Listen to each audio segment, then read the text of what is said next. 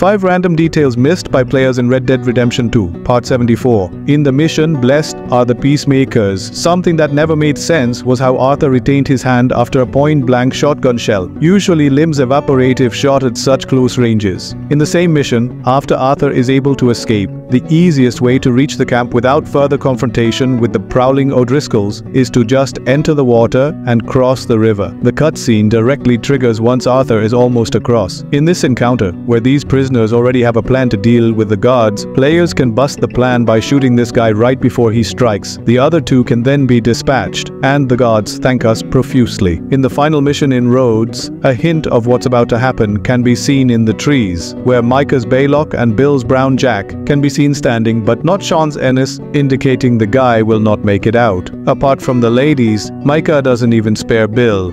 No, real good. Like better than usual.